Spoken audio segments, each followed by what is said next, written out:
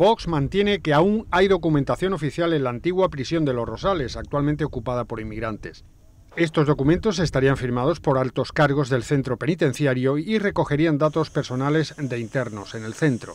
La diputada nacional por Ceuta de esta formación ha preguntado al Gobierno central sobre esta cuestión en base a la publicación de una información por parte de un medio de comunicación local.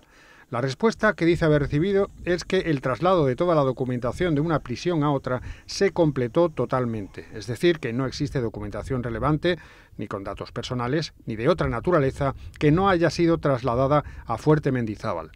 El Ejecutivo añade además que tampoco existe ninguna denuncia o declaración al respecto.